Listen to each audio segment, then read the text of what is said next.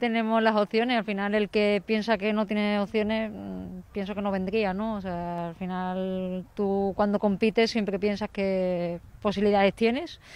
Yo, pues, después de la temporada que llevo haciendo este año, la del año pasado, creo que sí que, que opciones hay.